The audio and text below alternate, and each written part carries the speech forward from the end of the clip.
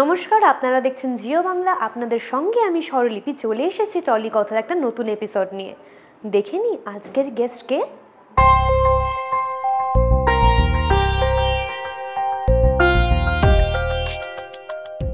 কার মিলন চাও বিরোহী? কার মিলন চাও বিরোহী? তাহারে কোথা খুঁজেছ?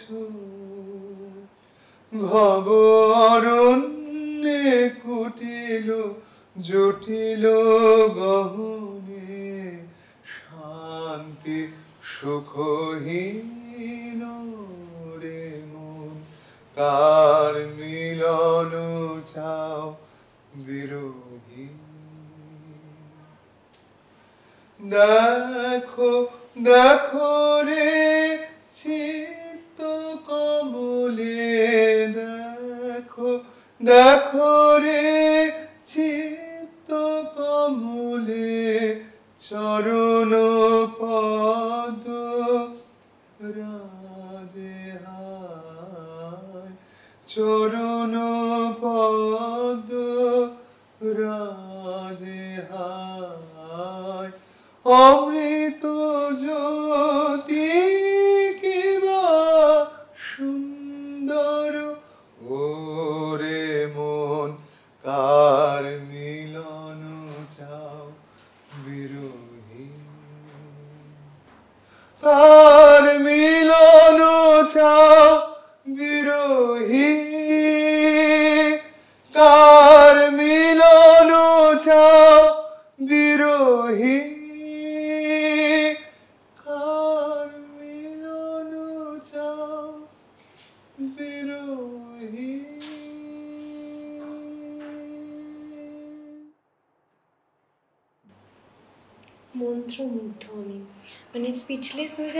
জানি না। সুজাতা, আমি তোমার সামনে গুছিয়ে কীভাবে কথা বলব? আমার কথা আটকে যাচ্ছে। এম- এমন একটা পরিবেশ চারপাশে সৃষ্টি হয়েছে। আপনারা বুঝতে পারছেন যে আমার মুখ থেকে ওনার সামনে কথা বেরোনোটা কতটা চাপের। আর এই যে বাথরুমের বাইরে বেরিয়ে এসে তোমার সঙ্গে তোমার সামনে চেয়ারে বসে গান গাইলাম, এর জন্য খুব সাহস লাগে বুঝলে তো? ভাবতে পারবে না আমার ভেতরে যে কি হয়।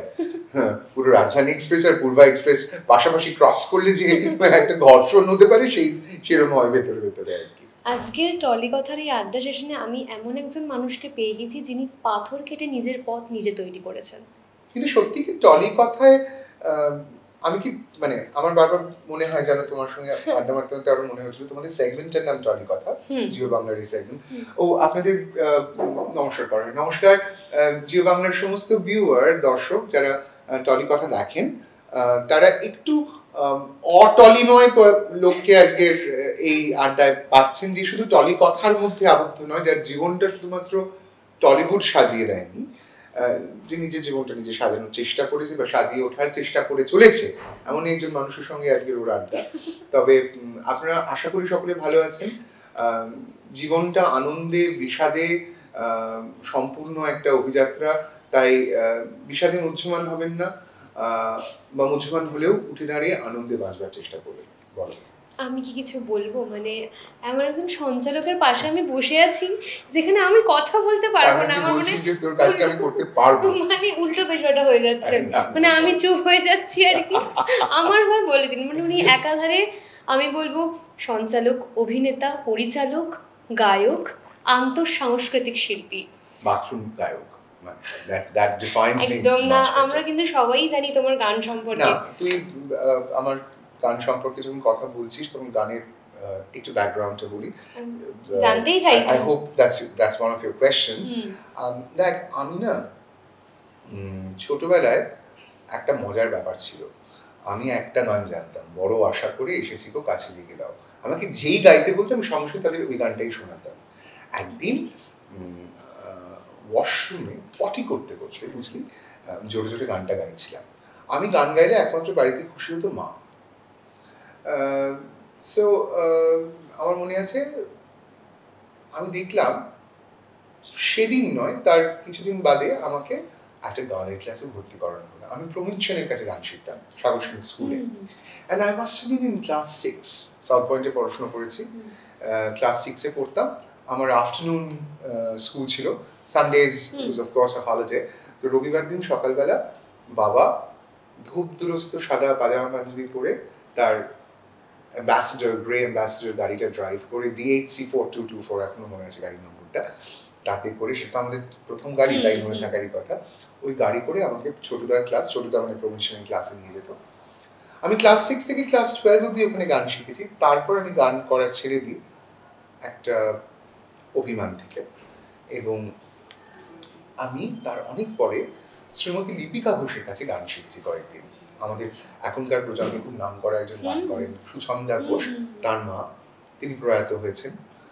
লিপিকা কাকিমা আমাকে খুব যত্ন করে গান শিখিয়েছেন এবং আমি আজ যেটুকু বাথরুমে বা বাথরুমের বাইরে মাঝে মাঝে এইসব শোতে এসে একটু গাইতে টাইতে পারি সেটার কারণ কিন্তু কাকিমা। কাকিমা আমাকে খুব কাকিমা জানিস তো আমাকে না ব্যাকরণটা খুব মানে ব্যাকরণটা was a basic. So grammar was not very important for her. What was very important is whether I'm expressing right. মানে ধর রবীন্দ্রনাথের গান যারা করেন তারা অনেক সময় গানের কথার গভীরতাটায় পৌঁছতে পারেন না। যে কারণে গানটা গানই রয়ে যায়। সেটা শিল্প সুষমা মণ্ডিত হয় না। তাই আমার বারবার করে মনে হয়েছে যে আমি যদি আমি যেটুকু গাইবো তাতে যেন আমি গানের কথাটা আমার শ্রোতার কাছে পৌঁছে দিতে পারি। কারণ সেটুকুই কিন্তু সেটা কিন্তু একটা বিরাট দায়বদ্ধতা আমার যে কোনো সঙ্গীতের কাছে। সেটা কাবালি হতে পারে সেটা একটা জ্যাজ হতে পারে রবীন্দ্রনাথের গান হতে পারে অতুল প্রসাদের গান হতে পারে সলিল চৌধুরীর গান হতে পারে একটা একটা ভীষণ আইটেম নাম্বার সং হতে পারে। এই যে বিড়ি জ্বালাইলে জিগার সেপিয়া এটা তো গুলজার লিখেছেন। এর তো একটা দর্শন আছে। সেই দর্শনটা যদি আমি দর্শকের কাছে পৌঁছতে পারি তার বিনোদন যেমন হবে তেমন তার সমৃদ্ধিও করবে এটাই আমার গান করার একমাত্র ব্যাকরণ। আমার বলার এখানে কোনো ধৃষ্টতা নেই তাও আমি বলছি মানে তুমি যখন গান গাইছো এই আশেপাশের অ্যাম্বিয়েন্সটা এমন তৈরি হয়েছে তোমার ডায়নামিক্স তোমার voice modulation you are brilliant artist কি বলব? আর আমাদের এই টলি কথার আড্ডায় তোমাকে পেয়ে আমরা যে কতটা খুশি মানে আমি কতটা এক্সাইটেড এতটাই এক্সাইটেড যে আমার চুপ হয়ে যাচ্ছে মানে কথা আটকে যাচ্ছে তুতলে যাচ্ছি ফাম্বল করছি। এত স্বাভাবিকভাবে সঞ্চালনা। বাক শিল্পকে একটা নিজের ঘরানা তৈরি করেছে বাক শিল্পে একটা অন্য রূপ সঞ্চালনার কাজটা কিন্তু আমি খুব কনসিয়াসলি করা শুরু করিনি। সঞ্চালনাটা আমি আমি তো আমি তো কোনো স্কুলে গিয়ে সঞ্চালনা শিখিনি। আমি যাদের কাছ থেকে সঞ্চালনা শিখেছি, তারা দুজন। মানে শিখেছি মানে মানে প্রায় ইনডিরেক্টলি শেখা। তা সেই দুজনের নাম চৈতালি দাসগুপ্ত শাশ্বতী গো ঠাকুরদা এবং চৈতালি দাসগুপ্তর কে আমি এই ক্ষেত্রে গুরু মনে করি। কারণ স্টেজে উঠে দর্শককে সম্মান দিয়ে, বা দূরদর্শনের পর্দায়, দর্শককে সম্মান দিয়ে যে ভাষা প্রয়োগ করলে দর্শককে যথেষ্ট সম্মান দেখানো হবে। তিনি সেই ভাষায় কথা বলতেন। প্লিজ আন্ডারস্ট্যান্ড সঞ্চালনাটা কিন্তু অনেক পরে করেছেন উনি। She started her career as an announcer she is do announcements কিন্তু সেই অ্যানাউন্সমেন্টের মধ্যে সেই ঘোষণার মধ্যেও এমন একটা অদ্ভুত সুষমা ছিল। অথচ তুমি একটু আগে যে কথাটা বলছিলে কনভার্স স্বাভাবিক। এই স্বাভাবিক করে তোলাটাই কিন্তু আমার একমাত্র কাজ। তাই আমি যখন কবিতা পড়ি বা যখন যেমনভাবে কথা বলি সেভাবে মানে ওই স্বাভাবিকতাটা রাখার চেষ্টা করি। সঞ্চালনা মানেই কিন্তু পাঁচটা মানে জ্ঞান বদহজম হওয়া শব্দ ব্যবহার করে দর্শককে দর্শকের কাছে চিত্তাকর্ষক করে তোলা। সেটা কিন্তু নয়। You have to know your audience that's one আরেকটা কথা হচ্ছে তুমি সঞ্চালক হিসেবে দর্শকের বিনোদন এর উপকরণ কীভাবে সাজাচ্ছ সেটা কিন্তু তোমার উপর নির্ভরশীল। তুমি কিন্তু একমাত্র দর্শককে উপাদেয় কিছু দিতে পারো। তুমি উপাদেয় কিছু দিলে দর্শক কিন্তু সেটা গ্রহণ করবে। উপাদেয় এবং সহজ পাচ্ছ something that you easily digest নিজে অনেক কিছু শিখলাম। এখানে আড্ডা সেশনে বসে মানে বসে পাশে বসে আমি নিজে এখন ক্লাস ক্লাস করছি মনে হচ্ছে। কিন্তু তুমি কাউকে শেখাতে চাও না। কেন? না আমি তো এখন শেখাই। আমি তো কোভিডের সময় আমি সঞ্চালনা শেখাই না। আমার কোভিড যে বছর কোভিড শুরু হলো আমাদের দেশে আর কি। বর্গি এলো দেশের মতো কোভিড এলো দেশে আর কি। আমার তো সমস্ত কাজকর্ম বন্ধ হয়ে গেল।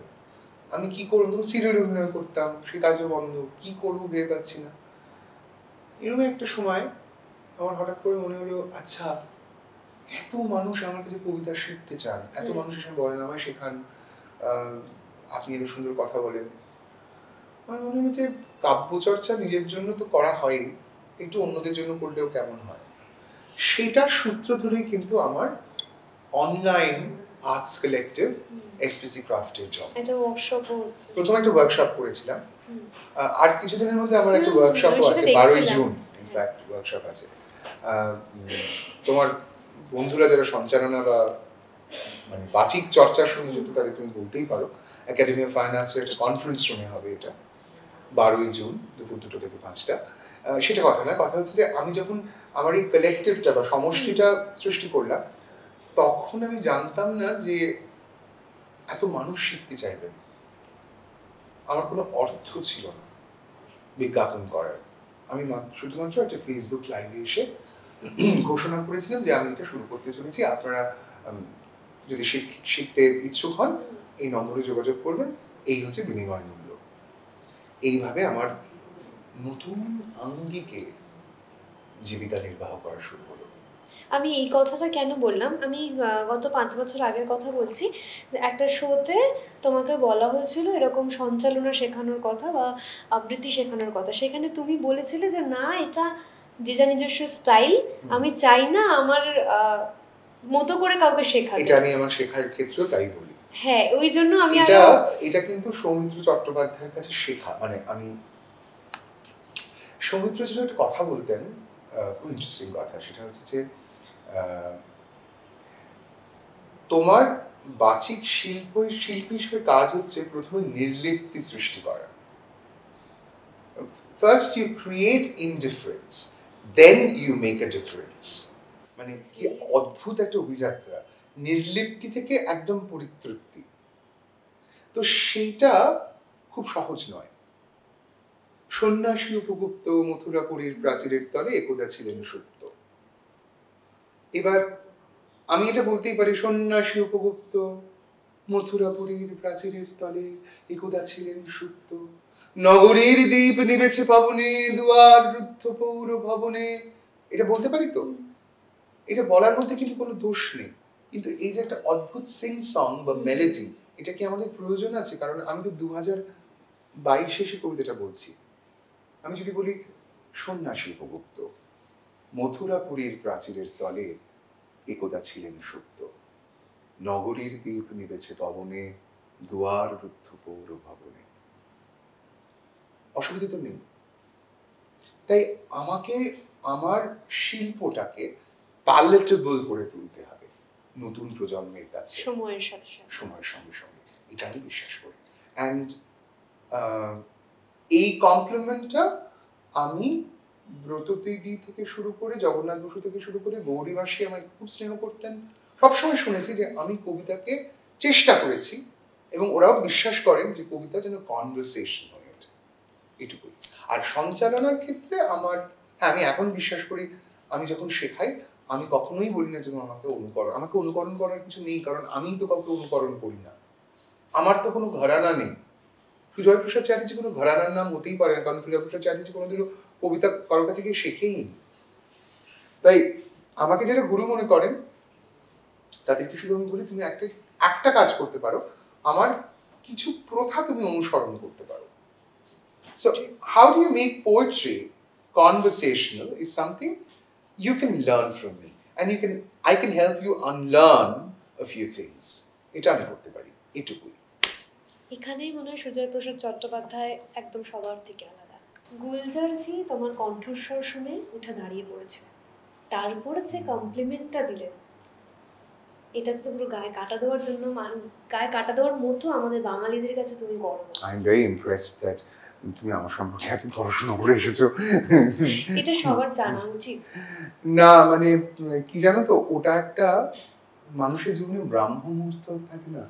ওটা আমার জীবনের একটা ব্রাহ্ম মুহূর্ত আমি কবিতার জন্য যদি কোনোদিনও কোথাও সারা জীবনে আর কোনো পুরস্কার না পাই আমার কোনো অসুবিধা নেই। তার একটা কারণ একজন মহিরুহ মহিরুহের মতো একজন মানুষ। তিনি উঠে দাঁড়িয়ে যে একজন অনুজ প্রতিম শিল্পীর প্রশংসা করতে পারেন ওইভাবে এটা তো শিক্ষণীয়। কবিতা তো পরে শিখব আগে তো সহবত ভদ্রতা সৌজন্যবোধ এগুলো শিখি। এগুলো তো শিল্পীদের মানে আজকের পৃথিবীতে দাঁড়িয়ে অনেক নবীন শিল্পীদেরও নেই। নেই সৌজন্য বোধটাই কমে গেছে। একে অন্যকে ছোট করে দেখার চেষ্টা। ভীষণ। অন্যকে নামানোর চেষ্টা।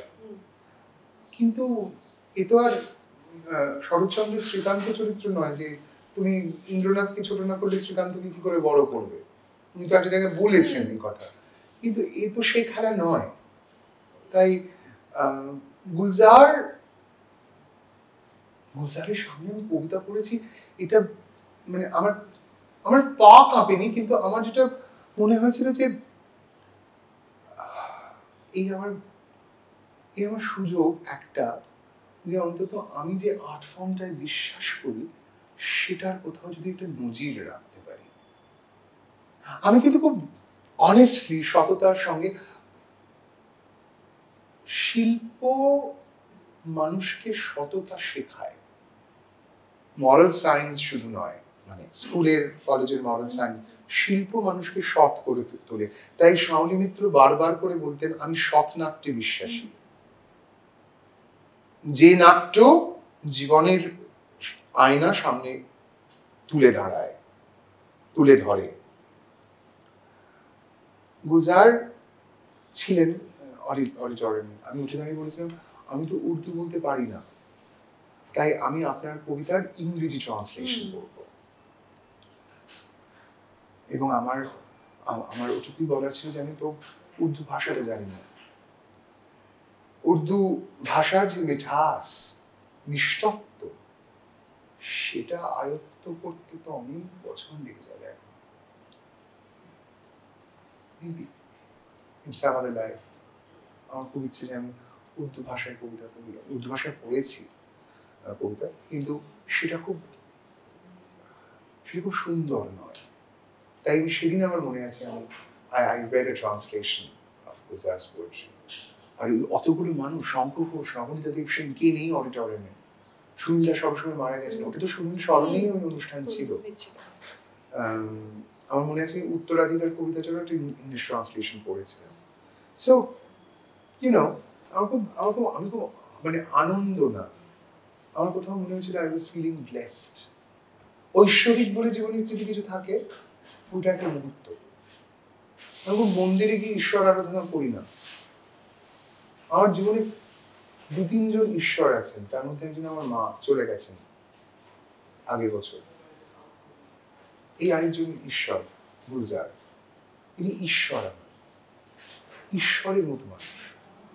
ওর সৃজনশীলতা ওর লেখা ওর ওর জীবনের প্রতি দৃষ্টিভঙ্গি এই সবটা মিলিয়ে ইটস ইটস ইটস ম্যাজিক্যাল তাই গুলজারের সঙ্গে দেখা হওয়াটা আমার জীবনের একটা ব্রাহ্ম মুহূর্ত বটে আমার নিজেরই শুনতে শুনতে গায়ে কাঁটা দিচ্ছে। এরপরে আমি তোমাকে আরেকটা ঘটনার কথা বলব যেটা দর্শকদের কাছে আমি আবারও তুলে ধরতে চাই বঙ্গ সংস্কৃতির একটা অনুষ্ঠানে। হ্যাঁ। নিউ ইয়র্ক সিটিতে হ্যাঁ সেখানে নন্দিনীর চরিত্র পাঠ করেছিল হ্যাঁ সেইখানে একটা অংশ। হ্যাঁ সেইখানে অনুষ্ঠান শেষে একজন দর্শক তোমার হাত ধরে কেঁদেছিল হ্যাঁ একজন মহিলা আমার হাত দুটো ধরে।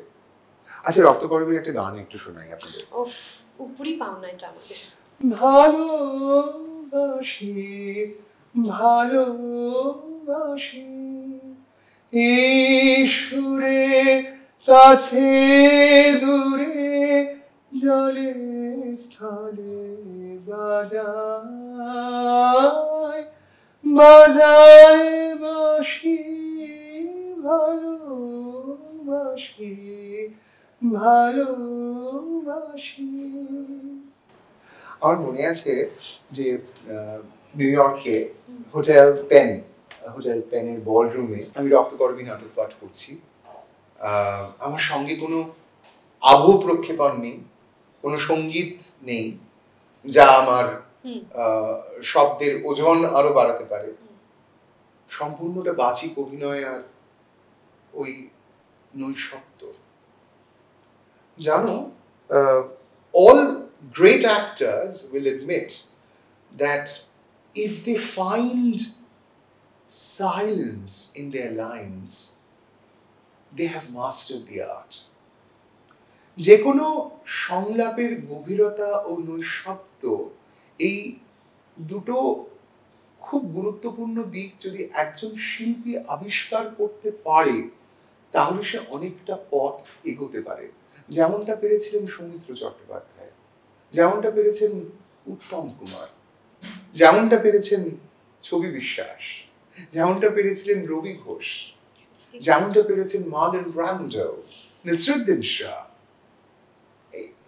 এই নামগুলো পরপর এলো, কারণ এরা নৈশব্দ ব্যবহার করতেন। আমি চেষ্টা করি, অন্বেষণ করি নৈশব্দের শব্দ নয় নৈশব্দ সময়টা না আমার কীরকম একটা ঘোরের মধ্যে দিয়ে কাটছে। মানে সুজয়দার সঙ্গে যতক্ষণ আমি কথা বলছি প্রত্যেকটা কথার ডায়নামিক্স প্রত্যেকটা ভয়েস মডিউলেশন আমি যেন হারিয়ে যাচ্ছি আমি বুঝতে পারছি না পরে আমি কি প্রশ্ন করব সুজয়দার থেকে কি জানতে চাইব। মানে খুব ঘোর আমার জন্য সময়টা কঠিন যাচ্ছে মনে হচ্ছে শুনতেই থাকি আমি আর কিছু বলব না এখানে আমি শুধু শুনি। এবার আস্তে আস্তে অভিনয়ের দিকে আসি। হ্যাঁ। ব্রিলিয়েন্ট অ্যাক্টর এত থিয়েটার তোমার তোমার টলিউড সেটা মনে করে না যে যে সেগমেন্টটা করছ টলি কথা তাদেরকে যে বার্তা পৌঁছে দিও যে আমি খুব ভালো একজন অভিনেতা। বলো। দর্শক শেষ কথা। নিশ্চয়। দর্শক শেষ কথা। প্রত্যেকটা দর্শক আমি মনে করি অন্তত মানে আমিও একজন সাধারণ দর্শক। ফিল্মফেয়ারের এডিটর জিতেশ পিল্লাই সৃজিত মুখার্জিকে বলেছিলেন যে শাহজাহান রিজেন্সি ছবিতে দুজনের অভিনয় প্রাতঃস্মরণীয় হয়ে থাকবে। একজন স্বস্তিকান্ত মুখোপাধ্যায় আর একজন সুজয় প্রসাদ চট্টোপাধ্যায়। আহ, সাংবাদিক গৌতম ভট্টাচার্য উনি আমাকে একদিন ফোন করে বলেছিলেন, অনেক পরে ছবি রিলিজ হয়ে যাওয়ার অনেক পরে যে আমার অভিনয় ওনার মনে দাগ কেটেছে। অথচ আমি কিন্তু কোনো পুরস্কারের মনোনয়ন পাইনি নমিনেশনটুকুও পাইনি। খারাপ লেগেছিল। কিন্তু ওই একটি চরিত্র, যাকে কিনা ছবিতে কোথাও একটা প্রান্তিক বলে মনে করা হচ্ছে, ওই প্রান্তিক মানুষটি কিন্তু অনেক মানুষের কণ্ঠস্বর হয়ে উঠেছে। এটা কিন্তু আমি জোর গলায় বলতে পারি। That I became a voice for a lot of the community members. আমি একটা সমষ্টির কণ্ঠস্বর হয়ে উঠেছিলাম ওই কাজটি করে। এবং এখনও অনেক মানুষ আমাকে বলেন যে, আমার ওই কাজটি দেখে তারা অনেক সাহস পেয়েছেন। আমি তাদের সাহস জোগাতে পেরেছি। এটাই আমার অ্যাক্টিভিজম আমি মিছিলে হাঁটি না। আমি আহ, কোথাও গিয়ে দরবার করি না। আমি আমার কাজের মধ্যে দিয়ে আমার পলিটিক্সটাকে মানুষের কাছে পৌঁছে দিই। বিপ্লব দীর্ঘজীবী হোক। ধন্যবাদ। এবার আসি আমি শাহজাহান রেজেন্সির কথাতেই আসতাম। সেই কথাটা তুমি আগেই বলে দিলে। এইরকম একটা মাঝে মাঝে ভিন্ন- সঞ্চালনের কাজটাও করছি আর কি তোর সঙ্গে। মানে বেশিরভাগটাই তুমিই করছ। আমি মনে হচ্ছে আমি ক্যামেরার পেছনে দাঁড়াই। বলি সুজয় দা এবার প্লিজ আমি নিজেকে প্রশ্ন ইনভিজিবল ব্যাপার হবে আর কি ইনভিজিবল না তুমি এখানে বসো আমি ক্যামেরার পেছনে যাই সুজয় দা প্লিজ কন্টিনিউ আমি আর পারছি না। তোমার পাশে বসে এই কাজটা করতে। দাঁড়া বলো। শাহজাহান শাহজাহান রেজেন্সিতে এরকম একটা ভিন্ন ধরনের চরিত্র যেটা তুমি অভিনয় করেছ অভিনয় করা ভুল হবে। এটা অভিনয় তুমি করনি তুমি চরিত্রটা হয়ে উঠেছিলে। হ্যাঁ আমার স্কুলের বন্ধুরা বলেছে তোর যা মেজাজ তুই তো রেগে গেলে ইংরেজিতে ওরকম করে আমাদের বকিষ্ট কি বকে থাকিস তাই অভিনয় আর কি করেছিস? মানে এটা আমাকে ভীষণ শুনতে হয়। তুমি অভিনয় করো না তুমি চরিত্রটা হয়ে যাও। থ্যাংক ইউ মানে এই শাহজাহান রেজেন্সির কিছু মেমোরেবল মুহূর্ত তোমার কাছ থেকে শুনব। আমার যেদিন র্যাপ আপ ছিল আর কি the last day of my shoot আমি শুটিং ফ্লোরে হাততালি পেয়েছিলাম সকলের কাছ থেকে।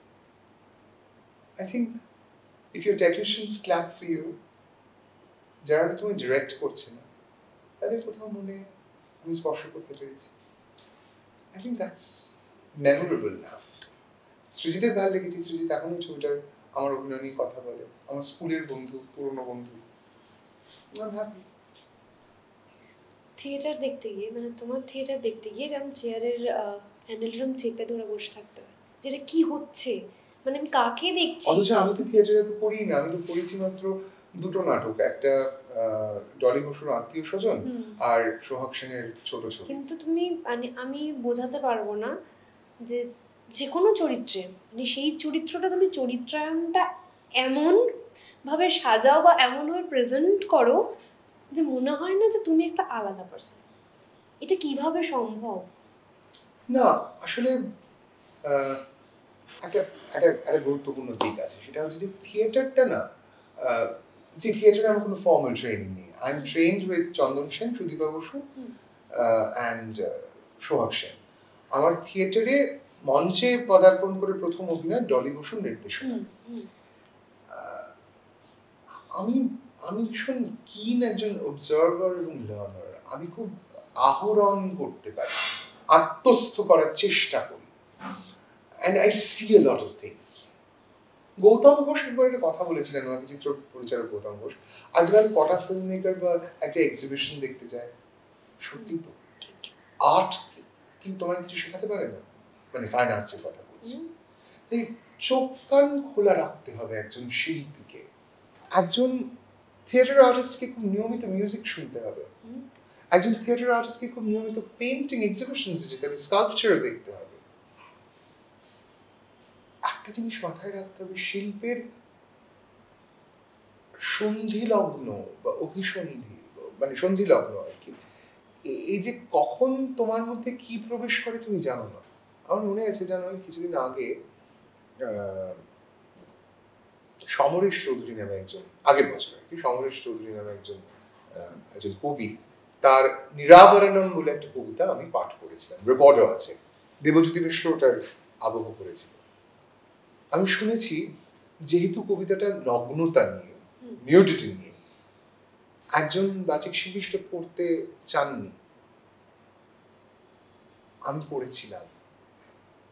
কারণ আমার কাছে নিউডিটি আর জামা কাপড় পরে থাকা একই ব্যাপার।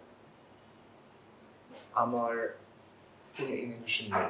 আমি মেকআপ রুমে যদি দুজন মেয়ে থাকে, তার সামনে পোশাক চেঞ্জ করতে আমার কোনো অসুবিধা হয় না। আমি পর্দা টেনে শার্ট পরি না। পর্দা খুলে shirt I don't have an inhibition with my body হ্যাঁ মাঝে মাঝে মনে হয় ক্যামেরায় যদি একটু রোগা লাগে, কেমন দেখতে হয়, ভালো দেখতে লাগে হয়তো that's okay I I have no problem with carrying myself I carry myself with lot of confidence যেটাকে লোক আত্মশ্লাঘা মনে করে। আসলে ওটা আত্মশ্লাঘা নয়, ওটা আত্মবিশ্বাস। ওটা বাড়াতে হবে। ওটা বাড়লে আত্মহনন নয়, আত্মপ্রত্যয়ের পথে এগোবেন. কি ভালো ভালো কথা বলছো জানো তো? মানে আমি না বুঝতে পারছি না এরপর কি বলব। অ্যাকচুয়ালি এটা আমার সাথে ঘটছে তো আমি বুঝতে পারছি। আই I know, um, আমি জানি তোমাদের অনেকেরই এটা প্রশ্ন থাকে। আমি তোমার হয়ে প্রশ্নটা নিজেকে করে নিচ্ছি। সেটা হচ্ছে যে এই বেলা শেষে আর বেলা শুরুর যে অভিযাত্রাটুকু আমার কাছে বেলা শেষে এবং বেলা শুরুর যে ট্রানজিশনটা ওই যে সন্ধি লগ্ন বলছিলাম। সেই সন্ধিক্ষণটা খুব খুব স্মরণীয়। বেলা শেষেতে গিয়ে আমি অভিনয় করেছি। বেলা শুরুতে এসে অভিনয় শিখেছি। মানে when you work with Soumitra Chattopadhyay কি হয়? when you working with Soumitra Chattopadhyay and শান্তিলেখা Sengupta what happens is একটা মুগ্ধতা থাকে। মানে you're you're you're kind of doe-eyed or you're scared you're nervous but when you gradually get into the shoes of the character or get into the mode of shooting with them you understand how simple these people are কত সহজ কত সহজ কত সরল এইসব মানুষরা তাদের কোনো স্টারই অরাই নেই তাদের ম্যানেজার রাখতে হয়নি কখনো রিল বানানোর জন্য ঠিক এখন দরকার পড়ে কারণ এখন প্রডিউসাররা রিচ দেখে একদম কাস্ট করে ইনস্টাগ্রামে ফলোয়ার দেখে আমরা আমরা আমরা আমরা পৃথিবীতে কোন জায়গায় এসে দাঁড়িয়েছি? যে একজন অভিনেতার শিল্প সত্য নয় শিল্প সত্তা নয় তার ইনস্টাগ্রাম ফলোয়ার্স দেখে তাকে কাস্ট করতে হয়। বা স্যাটেলাইট রাইটস কার বেশি বিক্রি হলো? তাকেই কাস্ট করতে হয়। That's where art is reached and that's a very sorry state of affairs I must say. কিন্তু ওই আবার ফিরে আসি বেলা শেষে থেকে বেলা শুরু। বেলা শেষে থেকে যদি ক্লাস হয়ে থাকে অ্যাক্টিং এর বেলা শুরু হচ্ছে master class of acting Sujata প্রত্যেকটা মানুষের জীবনে আপস অ্যান্ড ডাউনস একটা বেসিক জিনিস যেটা হবেই। তোমার জীবনেও এসেছে নিশ্চয়ই এসেছে হ্যাঁ। এবং অনেক তিক্ত অভিজ্ঞতার মুখোমুখি হতে হয়েছে। তোমার কাছ থেকে এই অভিজ্ঞতাগুলো শুনব যাতে আমাদের দর্শকদের মধ্যে মানুষজন তোমাকে দেখে আরও ইন্সপায়ার্ড হয়। আমি বরং ব্যক্তিগত ঘটনায় না গিয়ে দুটো কথা বলি। মানে আমার আমার ব্যক্তিগত জীবনের ঘটনার পরিপ্রেক্ষিতে যদি- সেটা অর্গানিক্যালি উঠে আসে তাহলে হয়তো দর্শক বন্ধুরাও জানতে পারবেন। যে কোনো সম্পর্ক সেটা নারী পুরুষের সম্পর্ক হতে পারে বা ব্যক্তিগত যে কোনো সম্পর্কে। একটা সম্পর্কে না তুমি যদি কখনো পাপস করে তোলো নিজেকে তাহলে তার জন্য কিন্তু তুমিই রেসপন্সিবল আরেকটি মানুষ নয়। যে তোমাকে পাপসের মতো ট্রিট করছে সে নয় কিন্তু। so if you treating yourself like a door mat to a person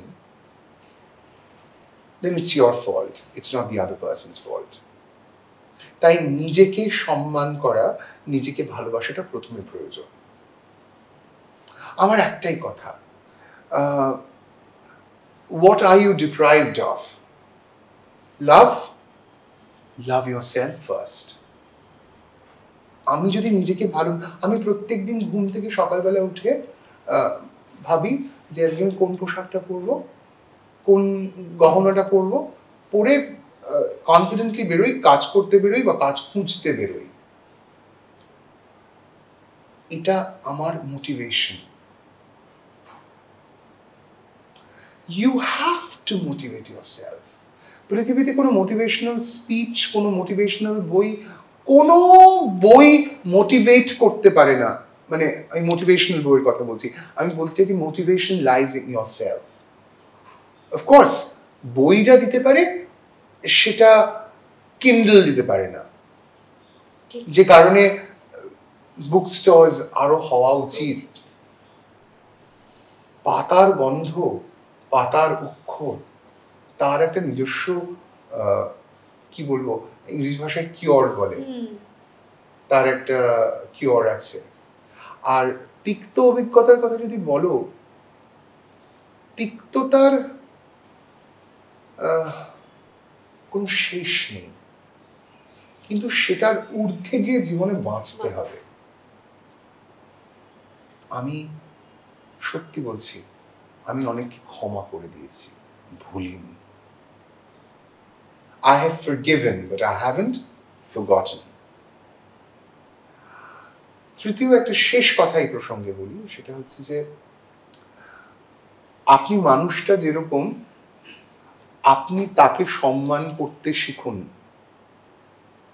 তাহলে আপনাকে অন্য মানুষটি সম্মান করবে আপনি এটা ভাববেন না যে আপনি নিজেকে সম্মান করতে পারলেন না অথচ আপনি সম্মান ছিনিয়ে নেবেন বা অর্জন করবেন সেটা সম্ভব নয়। আর নিজের ব্যক্তিগত পরিসর বা a line, ওই পরিসরের মাপ রেখাটা নিজেকেই আঁকতে হবে। একটা গণ্ডির পর কাউকে খুব সহজে বেরোতে দেবেন না। অনেক ভালো থাকবেন তাহলে। এটুকুই আমার বলার। কি বলব আমি জানি না নিজে পাশে বসে মোটিভেট হচ্ছি। একটা ছোট্ট কথা বলব? হ্যাঁ নিশ্চয়ই। আমাকে একজন একজন শিল্পী একটা কথা বলেছিলেন। আপনি বসে বসে নাটক করেন না? এইটা আমি আমি তাকে আমি তাকে বলেছিলাম হ্যাঁ ঠিক বলেছেন। তার কাছ থেকে পুরস্কার নিয়েছো। হ্যাঁ তার কাছ থেকে পুরস্কারটা নিয়েছি। হ্যাঁ আসলে কি জানেন তো মানে বসে বসে নাটক করাটা আরও বেশি শক্ত। হাত পার সঞ্চালনা করা যায় না তো? বয়েস ভয়েস দিয়ে আর আমি আবার দুটোই পারি। মুখ্যম জবাব যাকে বলে। সুজয় প্রসাদ চট্টোপাধ্যায়ের চোখে আদর্শ নারী বা আদর্শ পুরুষ বলতে কি বোঝায়? আমি আসলে লিঙ্গ বিভেদে বিশ্বাস করি না। তাও যদি আদর্শ নারী বলতে হয় তাহলে তো তাকে হারালাম। মা। আহ, মা was a complete human being আমার মা আমার জন্য যে যেটা করেছেন এই এই আহ, নিরূপা রায় মার্কা স্যাক্রিফাইসের গল্প মানে বলিউডি গল্প মানে ফেপে লাভ নেই। বরং এটা বলি আমার মা আমাকে নির্ভীক হতে শিখিয়েছেন। আমার মা আমাকে আয়নার সামনে দাঁড় করাতে শিখেছেন শিখিয়েছেন। আমার মা আমাকে স্বাবলম্বী হতে শিখিয়েছেন।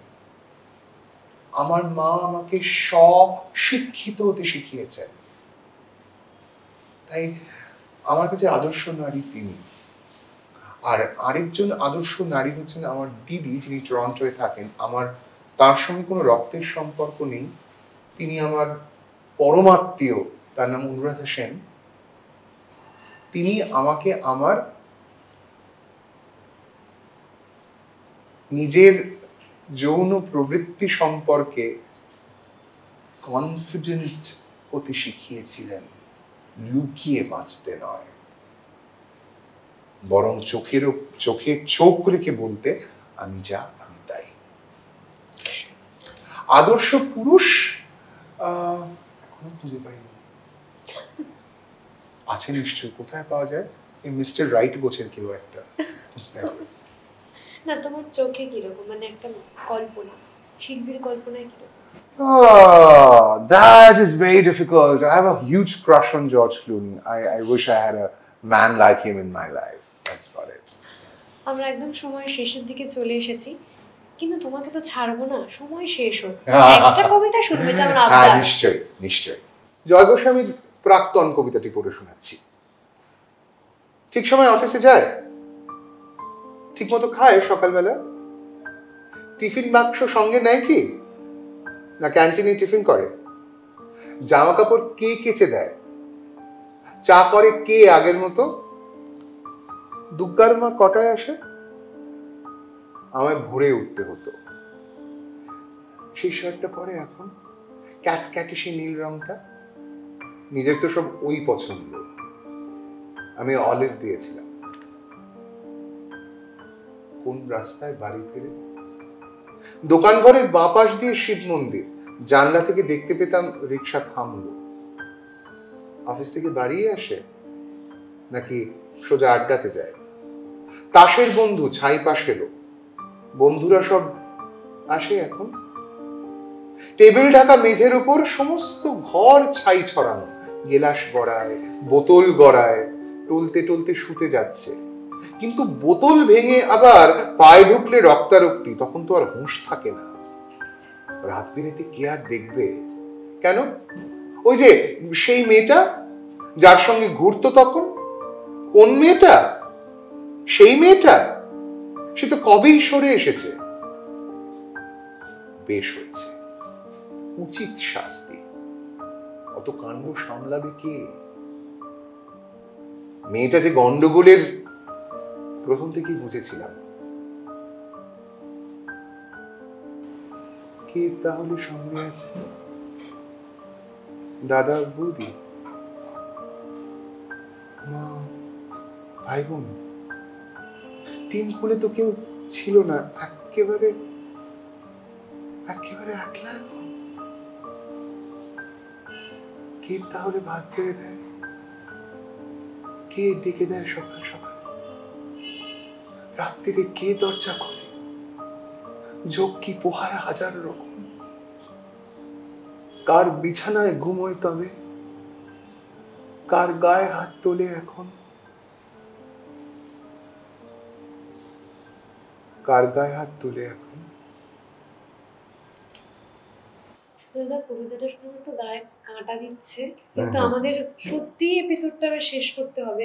আমি জানি আপনাদেরও ইচ্ছা করছে না আর আমি তো পাশে বসে আছি আমার তো ইচ্ছা করছেই না। কিন্তু আমার সাথে খেলে নেবার ছোট্ট একটা মজার গেম যেটা তোমাকে উইদিন থ্রি সেকেন্ড আনসার করতে হবে। হ্যাঁ মানে আমার কোনো হ্যাম্পার নেই এতে। আচ্ছা okay fine alright okay alright নীরবতা নাকি স্পষ্ট কথা স্পষ্ট কথা থিয়েটার না সিনেমা থিয়েটার বেলা শেষে নাকি বেলা শুরু? বেলা শুরু। পাহাড় নাকি জঙ্গল? পাহাড়। অমিত লাবণ্য নাকি নন্দিনী বিশুবাবু নন্দিনী বিশু পাগল। এখানে আমাদের র্যাপিড ফায়ার রাউন্ডও শেষ আমাদের এপিসোডও একদম শেষের দিকে। আমি তাও তোমার কাছে একটা আবদার। কারণ তুমি যখন রয়েছো আমি তোমার কাছে আবদার না করে থাকতে পারব না। আগে জিজ্ঞেস করব যে এই টলি কথা শোতে এসে তোমার কেমন আমার ভীষণই ভালো লেগেছে টলি কথার শোতে এসে এবং একটা dedicated segment on cinema on artist is always welcome এবং আমি আশা করি শুধুমাত্র একটা সাক্ষাৎকার ভিত্তিক অনুষ্ঠান হয়ে থেকে যাবে না কথা। এর থেকে বেরিয়ে আসবে শিল্পীদের জীবনের কথা এবং তাদের জীবন বোধের কথা। এটা আমার কাছে অনেক বেশি গুরুত্বপূর্ণ।